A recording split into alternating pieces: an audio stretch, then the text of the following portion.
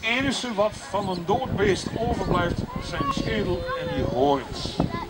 De rest wordt allemaal opgegeten door hier. Het bot wordt zelfs nog opgegeten en dat zijn dan de lammergieren die dat doen.